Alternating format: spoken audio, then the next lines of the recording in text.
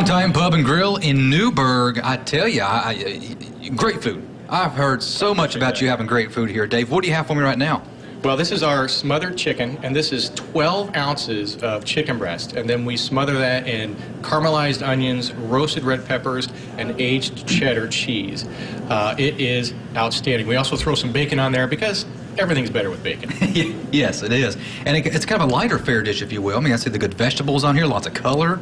Yeah, so uh, with the broccoli, we do a process called flashing, uh, which helps it keep its color, and it's also really crisp.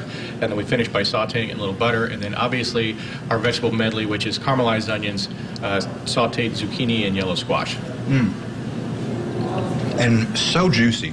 So, so juicy. Because the chicken you can go dry pretty fast with chicken if you're not yep, careful. You really can. And again, we, we, we believe in our process and how we cook it and think that that makes a, a huge difference in the consistency. Hey, you and I, oh, sorry, I didn't interrupt you there. No. You and I have been talking quite a bit. I mean, you are a community-driven business. You love this area, the Tri-State area. Yeah, yeah. We take a lot of pride in being a veteran-owned and community-driven business. Uh, for veterans, we have uh, a discount every single day uh, that you come in. Uh, for first responders and teachers, we have a special day each month where they can get a discount.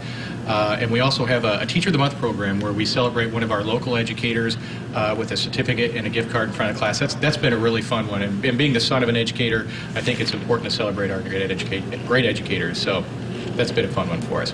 Mm.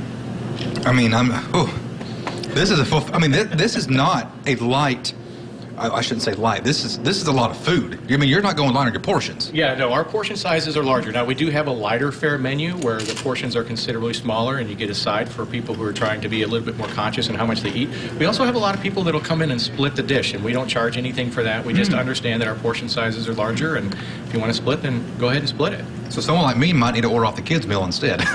well, you could. Uh, we, we consider ourselves an everyday occasion restaurant. You can come here anytime, not just for special occasions. We have a, a really fantastic kids menu with lots of offerings, uh, and we have a lot of families that come in here. So we consider ourselves an everyday restaurant. However, uh, also special occasions.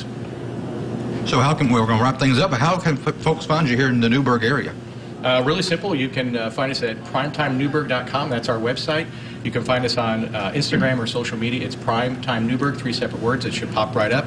Uh, and then we've always got over our music schedule because we have music every weekend. Oh, yeah. Uh, is on the website and, and any specials and things like that. So that's where we're at. All right. Well, I'll tell you come on by, get some really good food, meet Dave, meet the team, and a great bar area over there as well if, if that tickles your fancy.